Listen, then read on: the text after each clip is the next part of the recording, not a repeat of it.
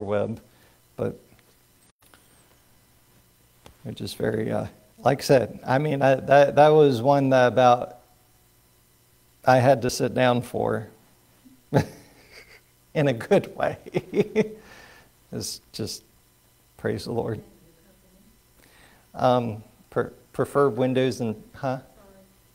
We have a business card back there for him. Yeah. So.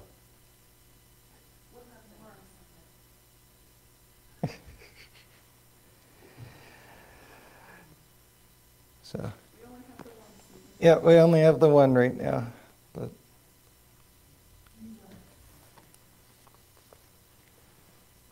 Do what? Ah. Oh, okay. Mm-hmm. Yes, it is. They're they're trying to eat. Mm-hmm.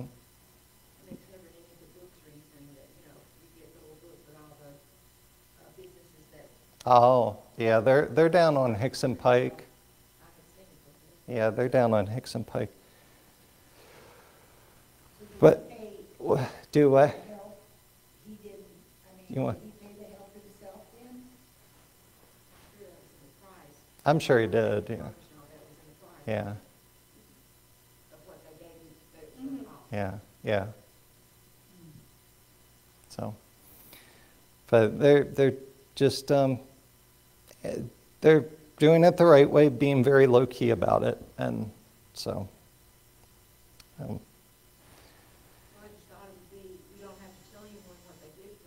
right. Oh, sure. Oh, sure, absolutely. Yeah, yeah, yeah. Oh, yeah. Yeah, we, oh, yeah. Yeah, we're definitely. So, yep. I'm, I'm just, just letting you know. But yeah, I mean, definitely. I, I'd refer them. They, they're very good with communicating, and the guys who worked here, they just, I mean, you could, I, I had no problem. We were here the whole time they were working, so had no problems. So, just praising the Lord for it. Any other blessings this week? Phoebe? School, school went by easily. And you're still doing well, aren't you? Yep. Even got a few more weeks left. Yep. The other three wish they only had a few more weeks left, but they get next week off, so. Okay. Well, look at Luke 19, if you would please. Luke 19. This is just where I've been reading this week. I was reading here today. Luke 19, verse number verse number 11.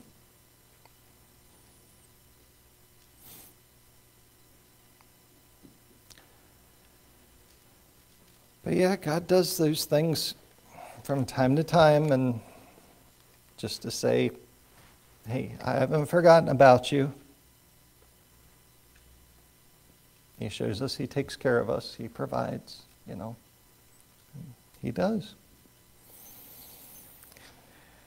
Verse number 11 says, And as they heard these things, he added and spake a parable because he was nigh to Jerusalem, and because they thought that the kingdom of God should immediately appear. He said, Therefore, a certain nobleman went into a far country to receive for himself a kingdom and to return. And this nobleman we know is Jesus. He went away after his death, burial, and resurrection and enacted the church age. And we're in that receive for himself a kingdom time, if you will. And he called his ten servants and delivered them ten pounds and said unto them, Occupy till I come. Occupy till I come. The servants are a picture of us, those who are saved, and Christ divvies, if you will, to us an equal amount. He does not give some more and some less of the Spirit, but we all have the Spirit. Christ, if you will, invests in us. He says, I saved you. I saved you for a purpose. We know he does, he does nothing by chance or happenstance. So as he invests in these servants, it says, hey, here's, here's what I have to give you. Now you go and you take care of what I've given you. Occupy till I come.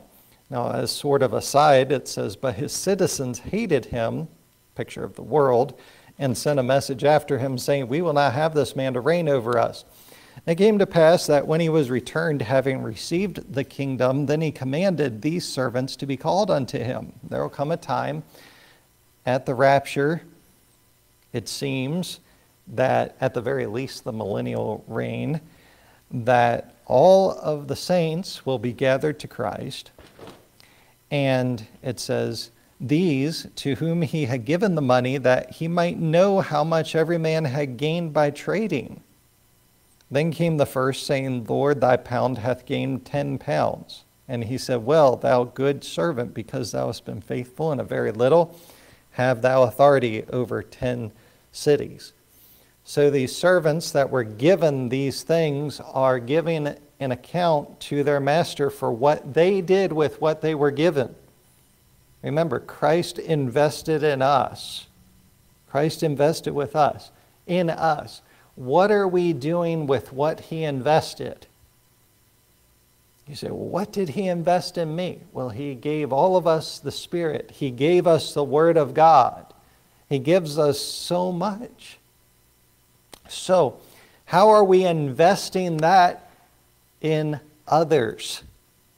In others, right? Or are we just afraid to? You go to someone, you give them the gospel. You go to someone, you disciple them. You go, there's always a risk in investing. Any anyone, any trader, stock trader, stockbroker will tell you there's always a risk in investing. And uh, 2 Timothy says invest in people that are faithful. You still have to take the risk, though. And sometimes you'll find out, oh, well, so and so is unfaithful, and you have to stop investing. I mean, you don't, you don't keep investing in a failing stock, do you? then you pull out of that and you invest in something that's doing well. You find people that are interested. I was reading about Zacchaeus. Zacchaeus was a man who was interested in Christ. He climbed the tree so he could see Christ. He went had Jesus into his home. Zacchaeus was a man prime for the gospel, if you will. He was interested. Because he was interested, he learned who Jesus was. He believed in him and was saved. You see? So we have the question because we'll all give an account for it. How do we invest what Jesus has given us? And who did we invest it in or attempt to invest it in? Because we're all to sow seed, right? And we'll, we'll give an account for this one day. I mean, you see in verse number 20, another came saying, Lord, behold, here is thy pound, which I have kept laid up in a napkin for I feared thee. And there's people that say, Well, I don't, I'm not going to do that. I'm not going to step out by faith because I'm just afraid. That's not an excuse with God. That's not an excuse that He's going to accept. I was afraid doesn't cut it because God has not given us the spirit of fear, right?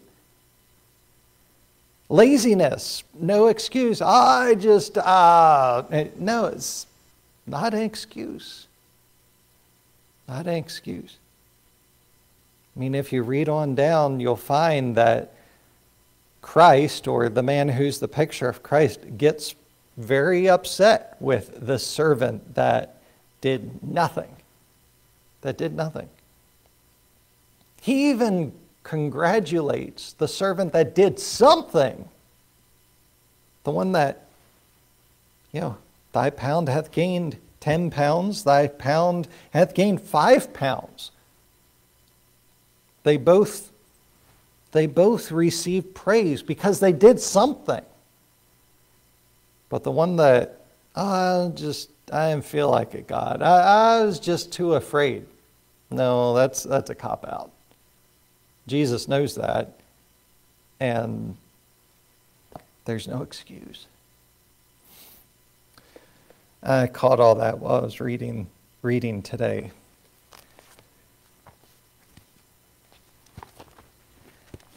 We have to ask ourselves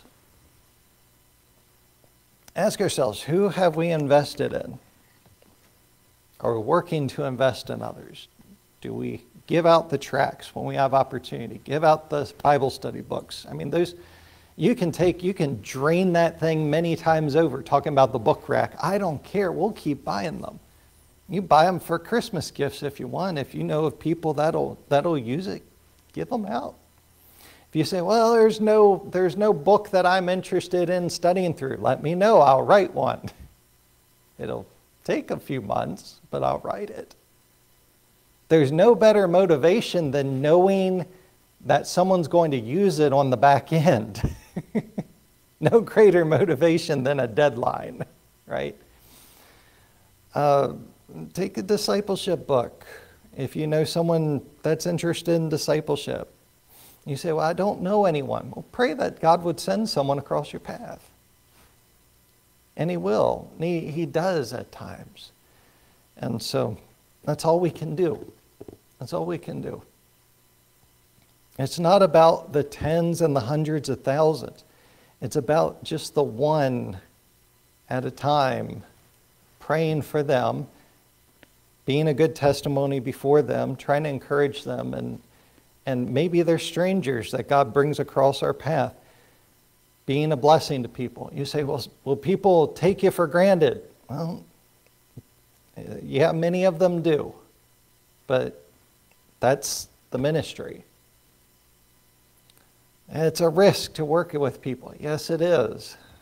But that's the work. That's what we're called to do. And so it is worth the risk because for all the tens that may fall through, you have you have a few a few that are interested. A few that'll come and and those are worth it. I mean, even the ones that fell through are worth it because you gave them a shot, right? You gave them a chance. They can't say, you never offered or I never offered. But the ones that come forth to fruition, I mean, how much better is that? How wonderful is that, you know? So, anyway, before I preach the whole message on that, look at Ephesians chapter 5, if you would, and we'll look at part 71 of Giving Thanks Always look at the topic of godly love again. Ephesians 5 and verse number 20. Giving thanks always for all things unto God and the Father in the name of our Lord Jesus Christ. Our Father, we thank you so much for your blessings upon us. Thank you for all that you have done for us this week, the unexpected things that you do to let us know that you love us, that you care. We just pray that you would help us to continue on day by day, to be faithful. When you give us opportunities to speak to people for you, help us to do it. And help us to invest, whether it's sowing that seed of the gospel or teaching someone the doctrine of Christ or whatever it is. Help us to do it, to not be afraid. If we are afraid, help us to do it anyway. Help us to do it by faith, not letting fear control us. Father, we live in a day, and really the world has probably always been this way, but we especially live in a day of fear. People are afraid of COVID, they're afraid of saying the wrong thing, doing the wrong thing. So much fear. We pray you'd help us to not be given over to it. Thank you. We pray in Jesus' name. Amen. So, number one, are you thankful that you're God's child? Are you thankful that you're God's child? That God sent his son, he saved you. It is a wonderful thing to be God's child. He does take care of us. He knows exactly what we need. It may seem like a small thing, but the small things are the small things. We may see some big things, but whatever it is, blessings are blessings. We have to learn to see them for what they are. Are you thankful for God's Word? Have you been in it this week? What have you gleaned from it? What has God been pinpointing in your life? And are you working to obey that? If we don't, we're not becoming more like Christ. We'll just keep hearing the same thing over and over and over and over again. But if we are, then we're growing in the faith. And God will keep speaking through His Word. Are you thankful for God's Spirit that helps us to bear the fruit thereof? And verse number 22 of Galatians 5 says, But the fruit of the Spirit is love, joy, peace, long suffering, gentleness, goodness, faith, meekness, temperance. Against such there is no law. And we're looking first at love. The Bible sometimes calls godly love charity. We considered on Sunday the three types of love that are found in the Greek language. In the scriptures, you have philos, which is friendly love. Remember that? Friendly love. Yes, we are friends, right? We consider that. Then storge, which is familial love or love of family. Consider that and how it's spoken only in the opposite in the scripture as a condemnation of sorts that this world does not love its family. Then agape, which is godly love, and that's what we're considering. That love is perfect, it's in accordance with God's word. It's a choosing and unconditional love. Never forget that. I hope you don't. It's a choosing and unconditional love. It means it never stops. It never stops. You choose to love someone with godly love, that means you never stop loving them. Now, at times you may have to, um, with people, disassociate from them, and it may break your heart to have to do so, but it doesn't mean you stop loving them right? It's a choosing and unconditional love.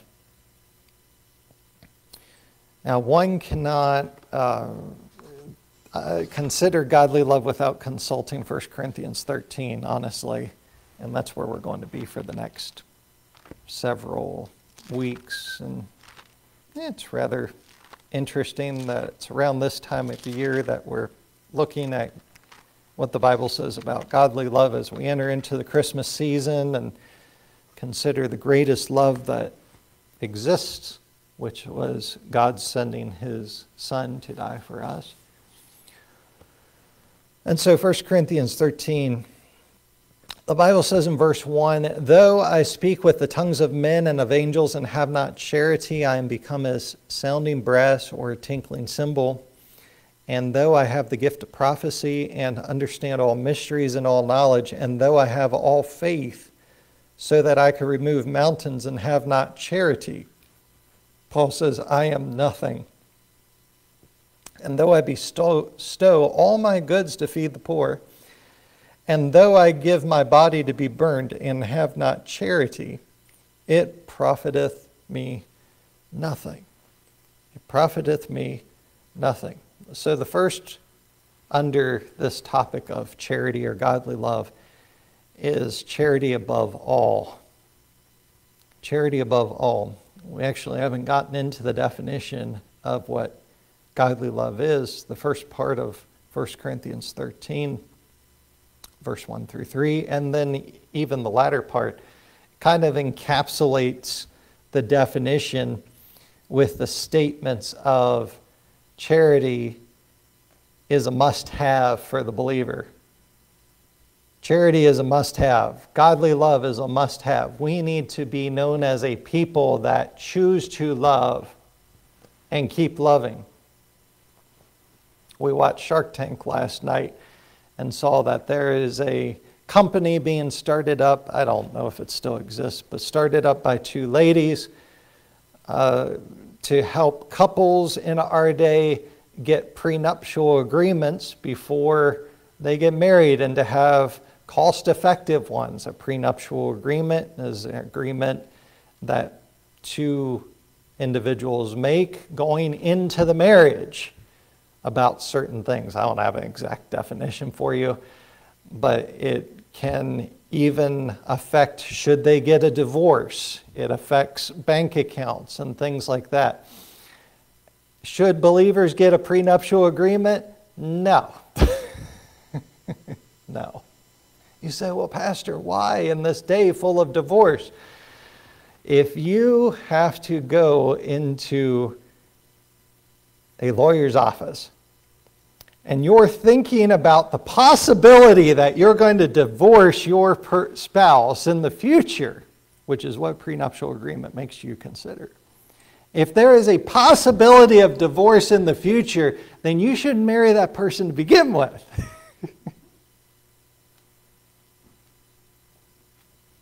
because when you say, I do, that is saying, I do for life. Right? Godly love, unconditional love.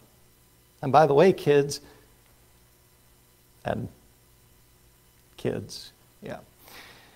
Heather, you're a kid too in this case. You come to me for premarital counseling. We're going to talk about all manner of things. And if you didn't know who you were marrying, you will by that point. But people just enter into marriage like it's a casual thing today, don't they? And they think divorce is nothing, when divorce is a destroyer of families. I mean, we've talked about it before. Divorce just destroys children. Destroys children. People joke about it, and, and they do make jokes. Oh, I get two Christmases, and on and on and on. It's a destroyer of families. But this world, all they think about is money, not love. If they think about anything related to love, it's usually lust. Oh, you look pretty good, so I'll marry you. Or your bank account looks pretty good, so I'll marry you. Yeah. Godly love is a must have for every believer. That's why it's first on the list of fruits of the Spirit. It's the most important. Yes, it makes, uh, seriously, in the Greek, the first and the last on a list are the most important things. God even devoted a whole chapter so that we can make no mistake about what godly love is, where he says it's a must have. It's a must have. It's a must have. And so let's look at a few things here. In the beginning of this chapter, we see Paul make a few introductory statements. And maybe they're a little confusing, but let me explain what it's saying. Each one of these statements begins with the word though. Though I speak with the tongues of men and of angels, though I have the gift of prophecy, though I have all faith, though I bestow all my goods, right? Though I give my body to be burned. You, you read that and it makes you think, well, Paul did all this? Paul had this understanding? Paul was, he's a really gifted man. That's not what it's saying at all. The word though needs to be taken as not an actuality, but a possibility. See the difference? It's not that Paul was these things, it's Paul saying, if these things came to pass. The word though is to be taken as grant, admit, or if. I just have the word if written in my Bible. But it could be either one of those three and be accurate. Grant, Grant that God would allow me to speak with the tongues of men and of angels. Grant that God would allow me to have the gift of prophecy. Something along that line. I just have if because it, carries the same thing. If I speak with the tongue of men and of angels, if I have the gift of prophecy, if, because it's possibility, not actual. Paul didn't really sell all his goods. He's talking about possibility, not actuality. Paul didn't give his body to be burned. He's talking about possibility, not actuality. It's something that could happen but has not. If you look up Webster's 1828 dictionary, you find that definition in so many words. Grant, admit, or if. He does not speak with all tongues. He does not understand all mysteries. He does not have all knowledge. He does not have all faith. He did not give all of his goods or give his body to be burnt. It's all hypothetical. The point that he's trying to make is you could have these things, but if you don't have them with love, it's no good. if you don't have them with godly love as the motivator, it's no good. Oh, there's, there's plenty of people that do these things in the world, but they do them for selfish reasons. They do them for self profit, right? So we, we as children of God, we as believers in Jesus Christ, we as people that say we are saved, we are Christians, disciples of Christ, right? We are to do the things that we do out of love, godly love for Christ. Doing it because it pleases Him not because it pleases us. Doing it because it helps us to draw closer to Christ, not because it puts a little more coin in our pocket or puts our face on a billboard. You see the difference? Paul could have been the megachurch preacher of his day, but he wasn't.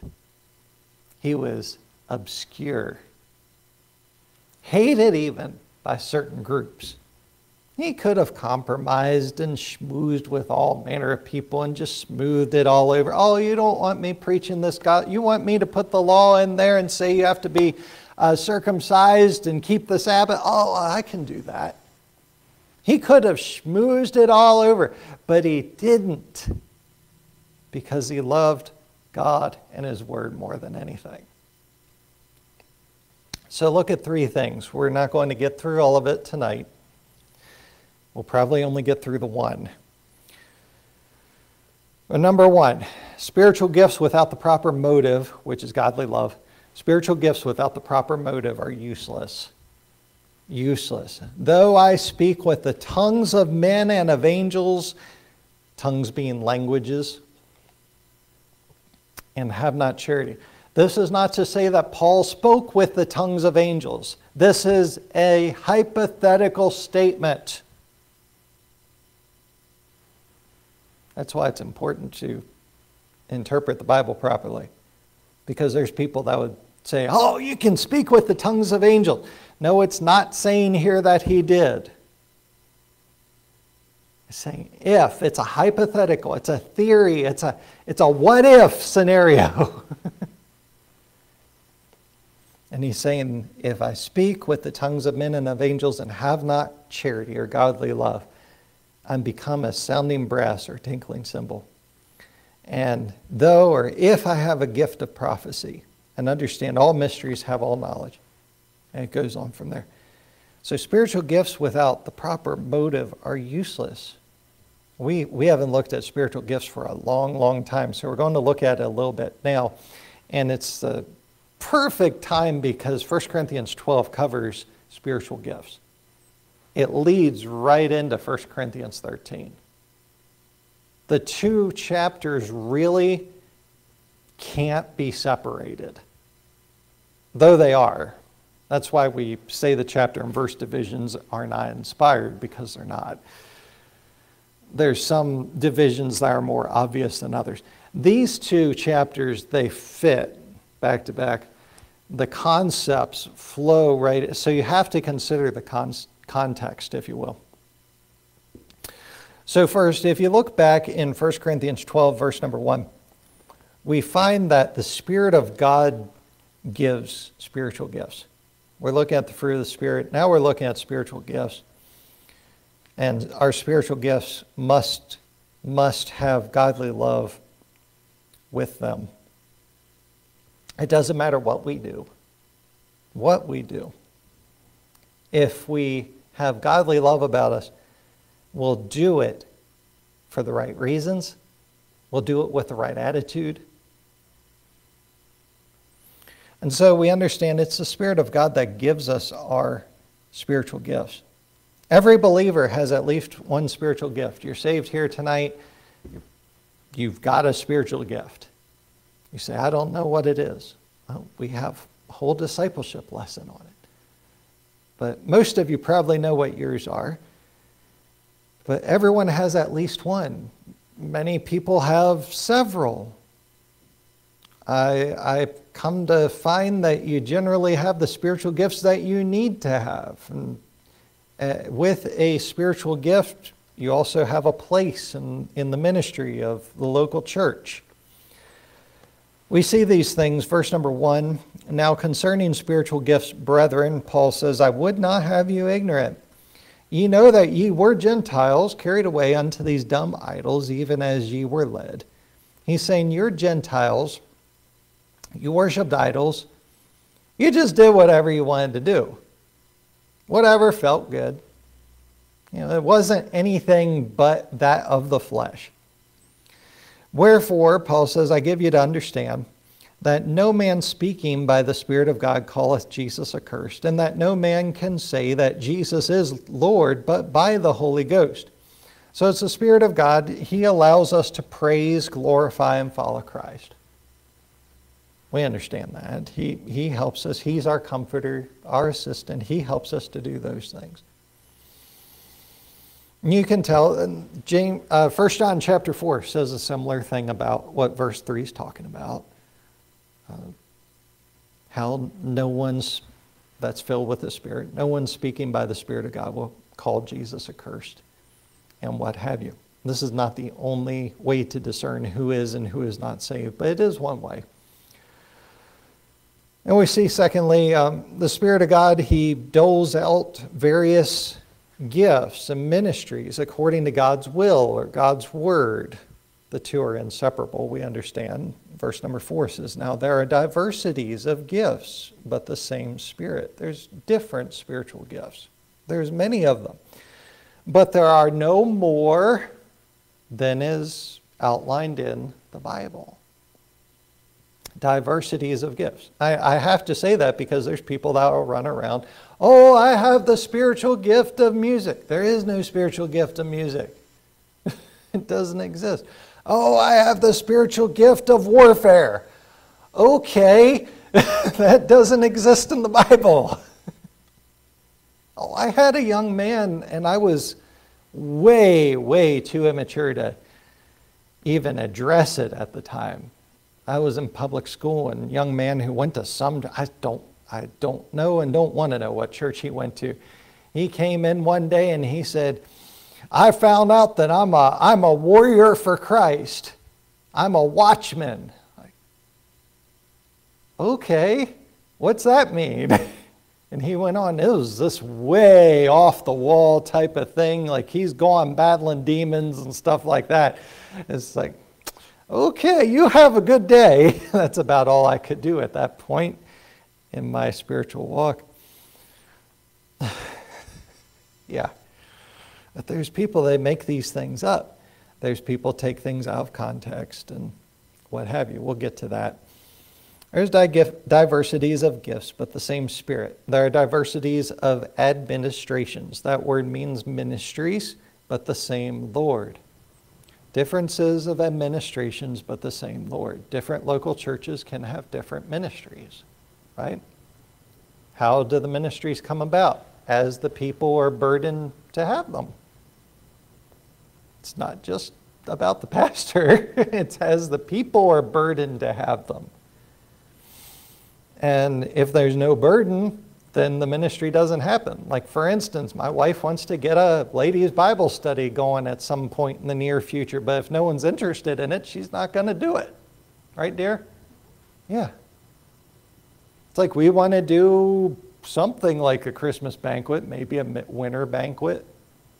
You know, I don't know, Frosty the Snowman banquet, something, just something where we have a good time together after a, a Sunday service, and you can invite friends and family to, or what have you.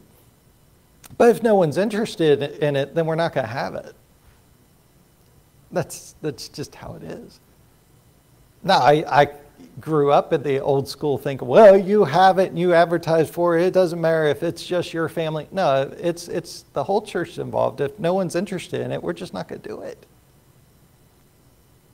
We're not going to do it. Now, there's certain things like visitation. Eventually, maybe in the next few months, we'll get visitation started back up. And even if it's just me and my family, we, we would do that. But, you know, if, if it, it, it can't just always be us. It's got to be a burden of the church. Saying, hey, I, so and so is, is uh, at one point it was so and so is in jail. Would you go visit them? Hey, so and so is in the nursing home. Could we have a service there? And people helping with that. There's just so many different things. So and so needs a meal. They can't get out. They don't have anyone to help them. Could we help them? There's so many things that could be done. There's, it's not limited to whatever my imagination can come up with. There's differences of administrations, but the same Lord. There's diversities of operations, but it's the same God which worketh all in all. So he gives out various gifts and ministries according to God's will and God's word. I, I found over the years, you may agree, that just God brings these things across our way and gives us a burden for them. Verse number seven, we find that He, the Spirit of God, is manifested so that we will profit spiritually.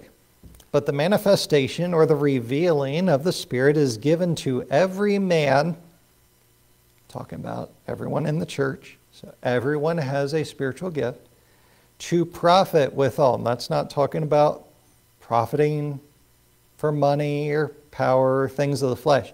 It's talking about you have your spiritual gifts so that you can invest in someone, so that you can help someone in some way.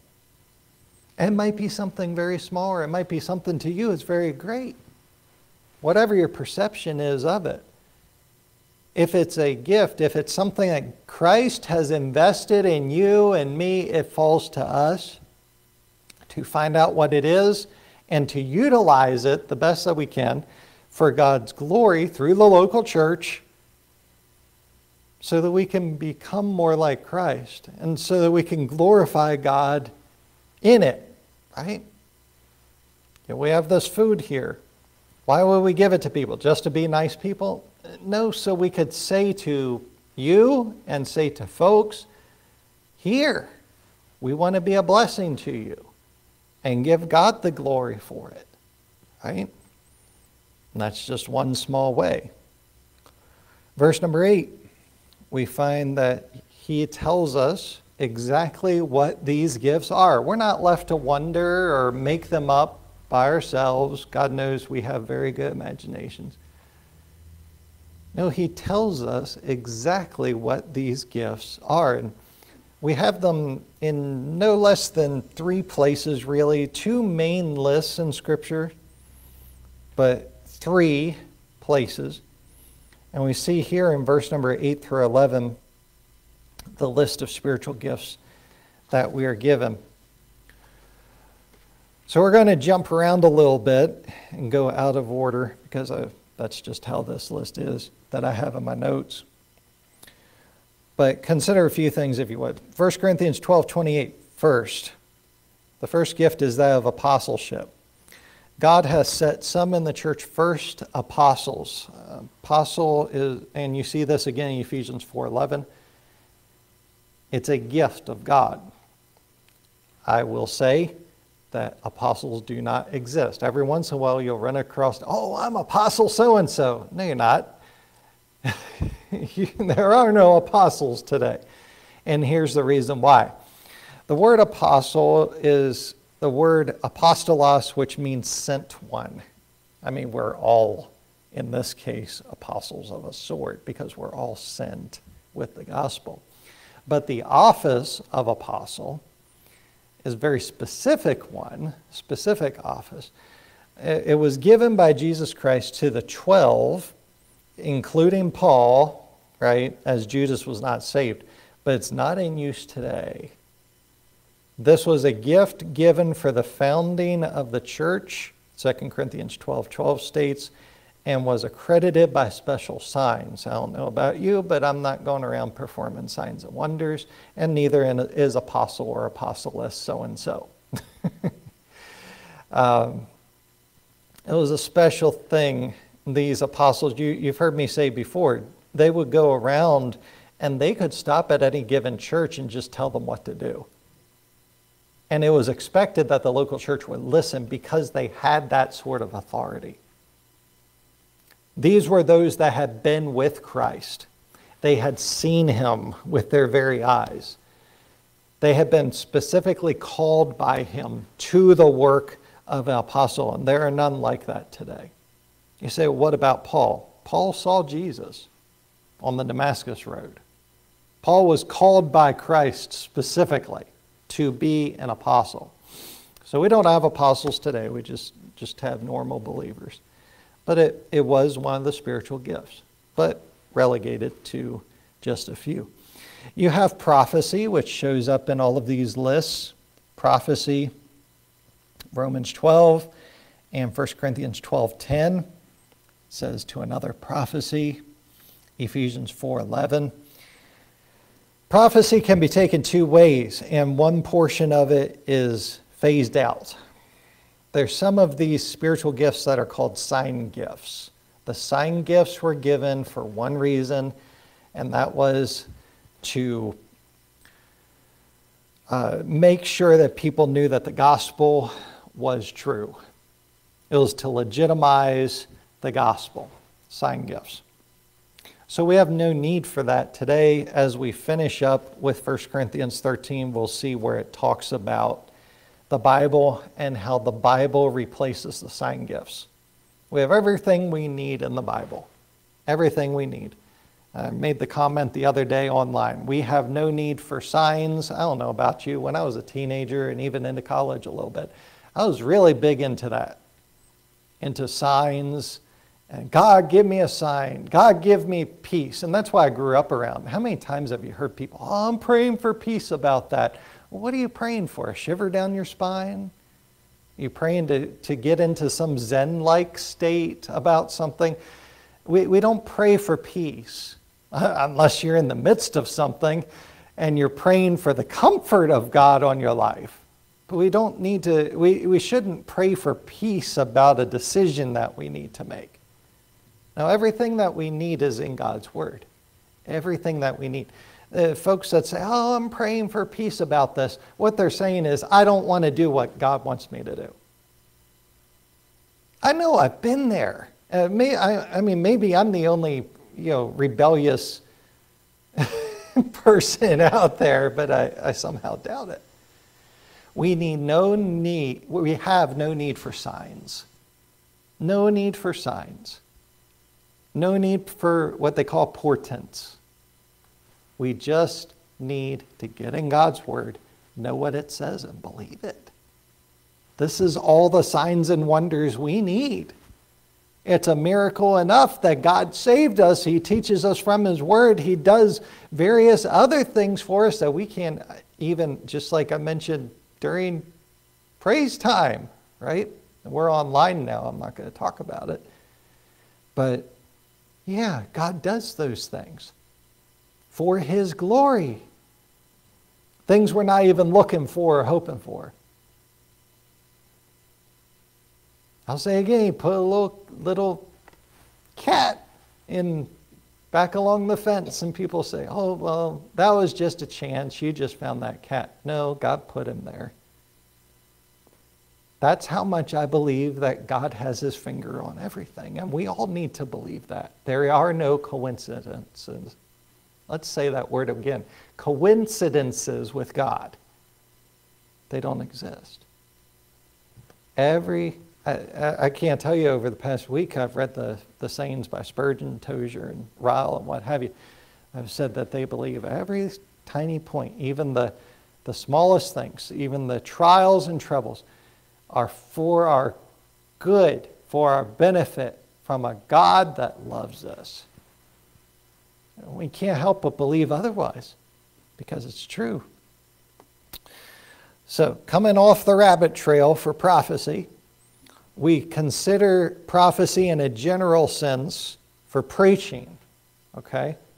Prophecy is in two parts. One is forth, F O R T H, forth telling the Word of God. And another part is foretelling the future, right? You think of a prophet, they would say, Well, God's going to do this, and then God would do it. If it was a false prophet, God wouldn't do it. Forth, telling the scriptures is what we're trying to do tonight and what we try to do every service. What my wife does at Sunday school, we take the Bible and explain what it's talking about unto application. That's what preaching is. Taking the Bible and applying it to our lives for God's glory. And so, that is definitely a spiritual gift. That is something that exists today. Every uh, pastor must have this gift if they're to be a preacher, but it's not exclusive to pastors because we're all to be preachers of the gospel.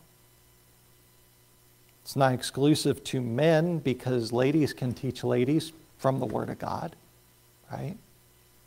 And so it is a very alive and well spiritual gift today. In a general sense, talks about preaching. In a technical sense, talks about proclaiming new revelation, but we have no new revelation today. Once Revelation, the book, was finished, the revelation from heaven ceased. We live in a day of no open vision. I know people say, well, that's, that's very frustrating, and I hate to believe that God wouldn't speak to us in that way, and blah, blah, blah. Well, we, we seem to forget that there was, I think, if my memory serves me correctly, it was either three or seven hundred years of silence in between the time of Malachi and the book of Matthew, if you will. It's not the first time God's been silent. God simply, He gave us everything that we need in the 66 books of the Bible. I mean, what more do we want? Well, I want to know about aliens. God doesn't want us to know about aliens. Seriously, people say that sort of thing.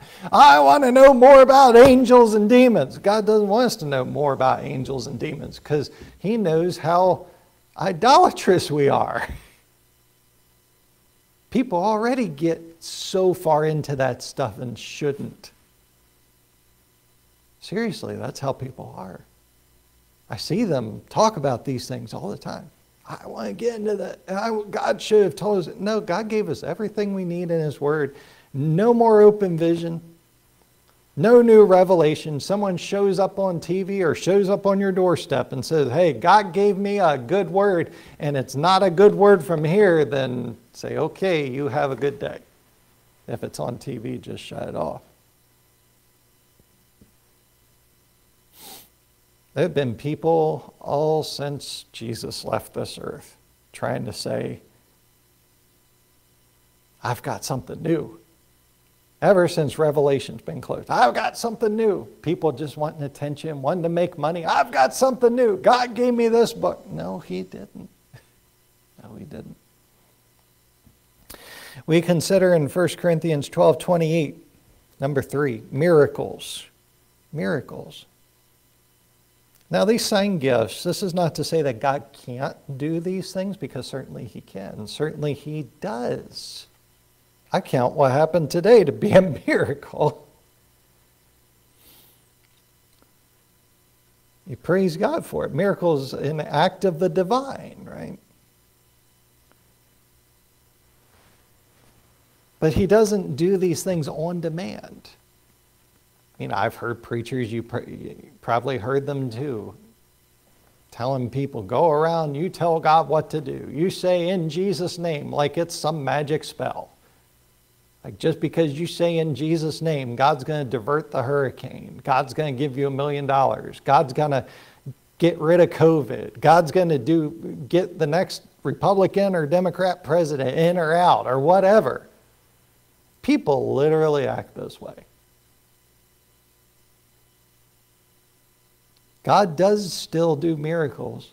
We're just not satisfied in our flesh. We're not satisfied with what He chooses to do. The greatest miracle He's ever done is saving a soul from hell sending his spirit to resurrect a dead spirit, giving us a new desire, a new life in Christ. I mean, imagine where you would be. And kids, I know you haven't lived that long, but still imagine you, you look at these kids on TV, you look at these kids in the public school, and, and you say, Praise God, I don't have to be in that mess. It's not that you stand as the Pharisee in front of the publican saying, I praise God, I'm not as this man. No, no, no.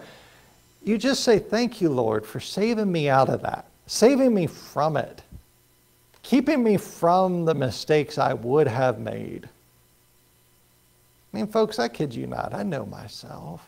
My wife, she knows herself. I, I can only imagine the mess that we'd have gotten into over the years.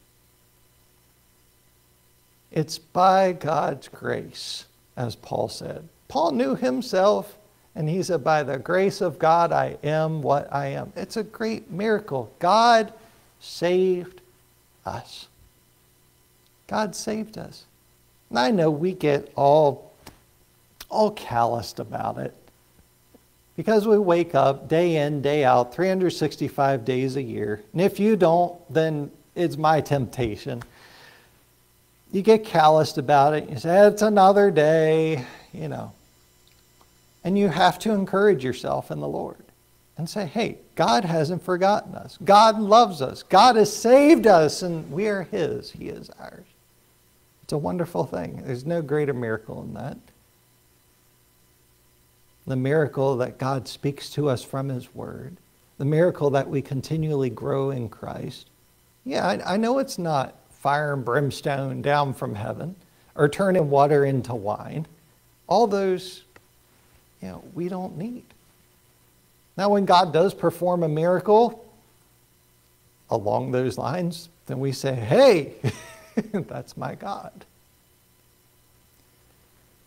But we have to be thankful for what we have and see it for what it is. Miracles. Then we have healings. Healings. Verse number 9 talks about the gift of healing. Verse 28, gift of healing. Verse 30, same chapter, gift of healing. Again, sign gift. Does God heal people today? Yes, He does, just not on demand. Just not on demand. He does it according to His will. So, can we pray and ask God, God, would you please heal this person? Would you help them to get better? Yeah, absolutely. But it's up to his will whether or not it'll be done. It's not for us to smack Jimmy on the head and say, Jimmy, you get better because I say so and God's got to do what I say. No, that's, that's not how it works, folks. That's not how it works. Those healings, Jesus healed people not because, well, he, he loved them, certainly, but he did not have a healing ministry. He didn't heal everyone he came across. He healed people who believed. Read the Bible. People like to believe, oh, Jesus, he's just the, yeah, I'll take the, the phrase great physician out of context. He's the great physician. He just went about healing everybody. No, he didn't. No, he didn't.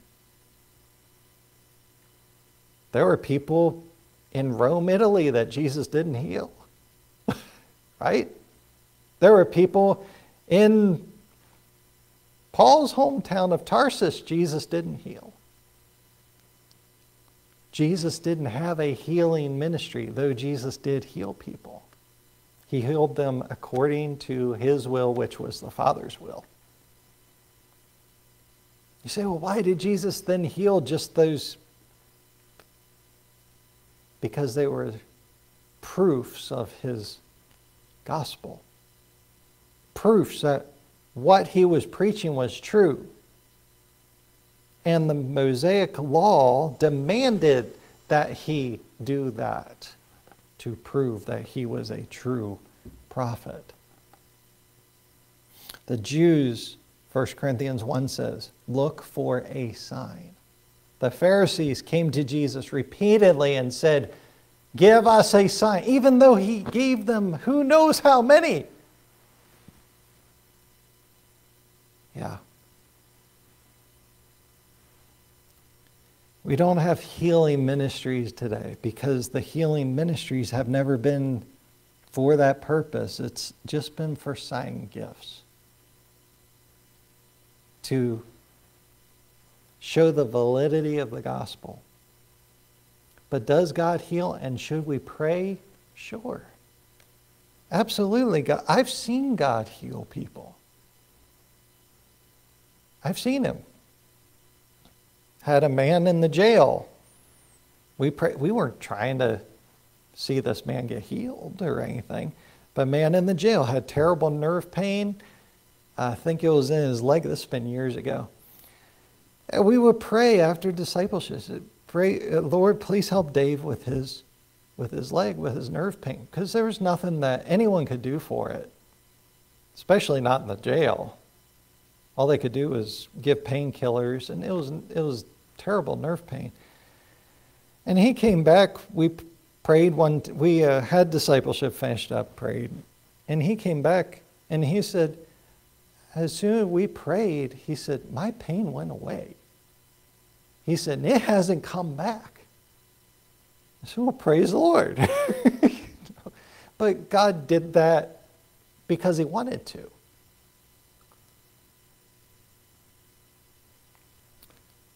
And so we get tongues. We're going to have to finish up because we're just spending more time on this than I thought we would. Verse number 10 of 1 Corinthians 12 tongues and the interpretation of it. Diverse kinds of tongues, and another, the interpretation of tongues. Two different, two different spiritual gifts one to speak, the other to interpret. And there's people, of course, today who say, well, I speak in tongues, and tongues and the interpretation were a sign gift. Uh, 1 Corinthians 14 lays out the rules for it if you want to read that on your own time. Paul never really emphasizes tongues. None of the other apostles did, but it's a big deal today, isn't it? Especially charismatics, Pentecostals. It gets people attention. It's a way to stand up and, and be seen. Because if people kept to the rules given in 1 Corinthians 14, then it would just die. It will fizzle out altogether. People don't care what the Bible says, they just want to do what feels good. You say, what were tongues back in this day where it's talking about the sign gift of tongues? Tongues just means languages. Literally, word glossa in the Greek language. It means languages. It's a known language. You see in Acts chapter 1, they began speaking in tongues, or I'm sorry, Acts chapter 2, when the Holy Spirit came down. And it's same word. It's known languages. It was during the time of Pentecost. There were a great many Jews from different uh, provinces, Roman provinces, come in. People that spoke a lot of different languages. And so the Holy Spirit came down, and people like to say, well, they were out of control, and they're, you know, like the Pentecostal services today. No, it was a very controlled thing, and these people were all speaking in different languages the same thing, which is the gospel. You read it in Acts chapter 2 where it says, We hear the marvelous works of God. So it wasn't the tongues of angels, you know, a heavenly language. It was known languages, people standing up and preaching the gospel so that people could hear it in their language. It's a sign gift. Now, it did come apparently to where people would um, feel like they should speak in tongues, which is why 1 Corinthians 14 comes about. And Paul says, no, no, no, you don't have someone speaking in tongues. And, and tongues could be, I mean, for us, it could be anything like Spanish, French, Arabic, Russian, Chinese, whatever, unknown language. Someone come in here, start speaking Mandarin. I don't know what they're saying because I don't know that language. Maybe you do. But say someone comes in here and and uh, someone decides, well, the Holy Spirit's come upon me. I need to speak, stand up, start speaking in manner. And Paul says, no, no, no, no. You don't do that without someone who can interpret, because otherwise it's just confusion. It's chaos. And in the same passage, you have that God is does all things decently and in order. So someone speaks in tongues and someone should be able to interpret. If there's no one to interpret, the Bible literally says that person needs to be quiet because it's just it's just your flesh or or maybe it's something you need to keep to yourself. There's plenty of things the Bible says, "Hey, you have a thought, you have a dream, you have this that, and you think it to be something, just keep it to yourself." or ask, you know, ladies, it says ladies ask your husband about it you know. Things like that. Or people can ask me or, or things like that. But th- there's plenty of people that refuse to do that. No, I got to stand up and I got to share it before the whole church. No, no, no, no, no, no. No, no, no. So, tongues interpretation of it, just it was a sign gift. No one has spoken in legitimate tongues since Scripture was completed. What you say, well, what's been done today? What's being done today is just of the flesh, or at worst, and I hate to say this, I can only imagine that some of it is, though. Some of it could be demon possession, demonic. Say, well, how do you tell which is what? I'd, I'd have to be there for it. so you, you can't assume. But you can only imagine that some of it is. Most of it's probably just people in the flesh. And does God help people to understand languages today? Oh, yes, absolutely. Does he give people special understanding of languages? Yes, absolutely, because there's missionaries that need help understanding languages. There's Bible translators. I, I, admire many of these Bible translators. These guys have to learn a language and then translate from the Greek into that language. That's not my cup of tea. maybe it's yours, but there's some people that just love language. Isn't, isn't Gabrielle one of those people? She just loves Spanish or something. Yeah, people just, there's some people, they just love sign language. Sign language is a foreign language, you know. Some people love French and the various languages. God gives people a love for that. You say, well, why? There's likely going to be something down the road where that will come into use. We only got to look at four of the spiritual gifts tonight, but hopefully it'll be an encouragement, or it has been encouragement in some way. As we start on this, we'll complete it or at least continue it on Sunday. But I encourage you to read through 1 Corinthians 13 and um, contemplate what it's saying, think about it. And if you don't know what spiritual gift you have, look through the lists in 1 Corinthians 12 and Romans 12. See what God maybe speaks to you about. Talk to me or my wife about it. If you have a burden about something you'd like to see done in the church at any time, I mean, we're available 24 7. Feel free to talk to us and we'll see what, what can be done. But um, we'll pick these things up one Sunday. Lord, thank you for this time. Pray it was a help to someone. And well, thank you. We pray in Jesus' name. Amen. Any prayer requests tonight? Sarah? The decorating goes well? Absolutely. pray no Christmas trees fall on anyone this time. Right? Yep, this time. Unspoken.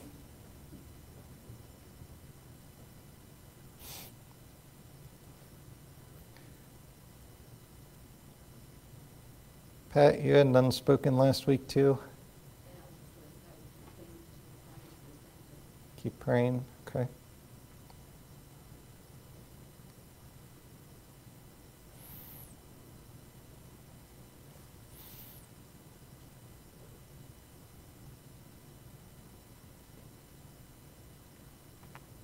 Okay.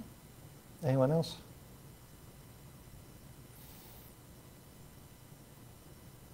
Sarah again? Have a good break. Yeah, yeah.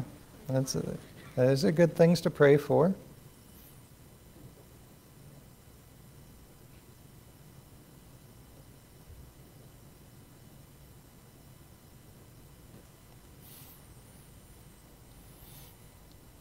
I'll be sure to put our kids to work the whole no. Try to keep a break as a break. Anyone else?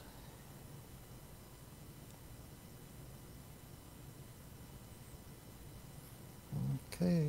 Pray for Matthew as he's at Pensacola. Phoebe, she's. Uh, your class gets over like the 11th of December, I think. Yeah, something like that.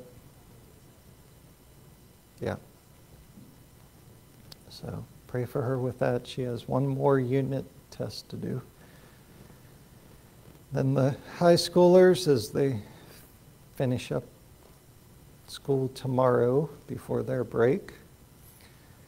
Dad with the estate, mom, she's healing. Brother Fred Carroll with his healing. And he's just, he's not doing very well, just please keep praying for them. Pray for Teresa and Pat with their unspoken requests. Decorating tomorrow. Everybody be safe, have a good time, have a good break, or that the kids would have a good break. Sarah might have withdrawal. She won't get to see the cat for a week, but,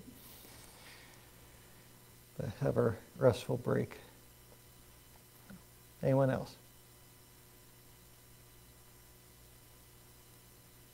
All right, let's pray together.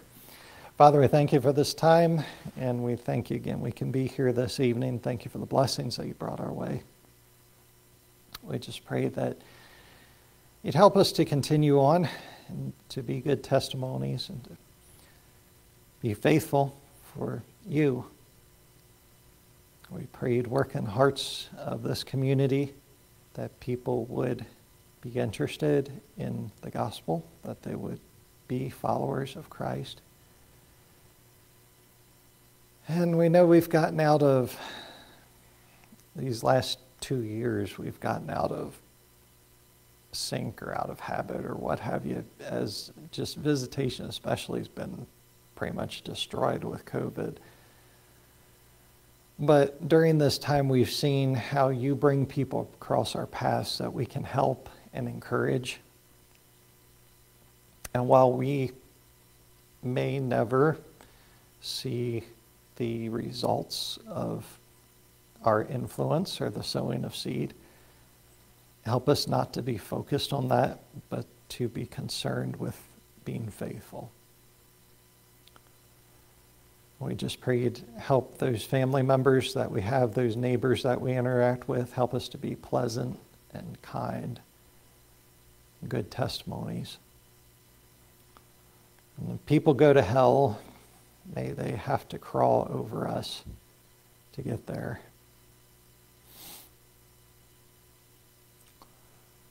Not that we can save anyone or grab them by the ankles and plead or make them be saved, but we can do our part and people can know about you. We just pray that you be with our family members, especially coming up the holidays. It's a joyous time for some and a hectic time for others. We just pray that you be with our family members that don't know you, that you would draw them to you, and that as they see us make Christmas about Christ, that they would be impacted. And as they see us make Thanksgiving about what you've done in our lives and not about Black Friday and not about bowl games or turkey. Help us uh, just draw those folks to you, and we'll give you the glory. Father, we pray that you be with Matthews. He's in college, that you'd help him give him good perspective, help him to draw close to you and help him with the things he has to do, we pray. Be with Phoebe as she's working on this college class, and we thank you for helping her with it. Pray be with the kids as they have school tomorrow and they're plodding along week by week, and we're thankful at their progress. We just pray you'd help them, help them to have a restful break and to do well and get the rest that they need. Pray that you'd be with decorating tomorrow, that all would go well, and that we would have a good time of fellowship together, and that everything would go up without incident. Father, we thank you for that. We pray that you would help mom with her healing as she has this doctor appointment coming up. May it go well, we ask. We pray you be with Dad with the estate. You to continue to help him, give him wisdom, and Brother Carroll with his kidney problems. Just pray that you'd help him. Give him your grace through this time. Lord, we pray you be with Pat with her unspoken request that you would meet that need perfectly as only you can. You get the glory for it. And Teresa, with her unspoken request, that you would meet that need perfectly and that you get the glory for it. Your hand would be seen in all these things. I pray the things that we've talked about tonight, that it was encouragement, a help. We see you work, you do things that we don't anticipate. And we just praise you. Help us to be faithful. Help us not to get discouraged. But keep going. We'll be glad we did. Well, thank you in Jesus' name. Amen. Turn to 43, if you would please. Great is thy faithfulness. We'll stand together and be finished for the night. 43, let's stand together. Great is thy faithfulness and we'll be dismissed. Great is thy faithfulness, O God my Father. There is no shadow of turning with thee. Thou changest not, thy compassions they fail not as thou hast been, thou forever wilt be. Great is thy faithfulness, great is thy faithfulness. Morning by morning, new mercies I see. All I have needed, thy hand hath provided. Great is thy faithfulness, Lord, unto me. Well, God bless you for being here tonight. We trust you'll have a good week. If you need anything, please let us know. But please take these things, write down the blessings, let it encourage you, and we'll see you, Lord willing, on Sunday at 10, if not 10, then 11. God bless you.